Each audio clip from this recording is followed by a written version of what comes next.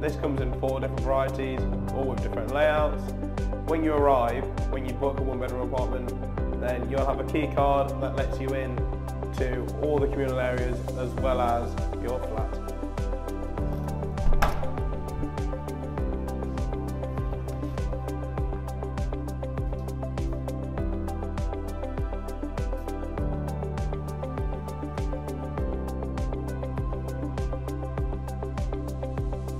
With the one bedroom apartment, the kitchen is slightly separate. With this kitchen, you get a sink, a pull-out bin, a microwave oven, hob, fridge freezer, and plenty of storage. Through here, you get a spacious wardrobe, a double bed, storage under the double bed, table, chairs, plenty of storage, 32 inch smart TV.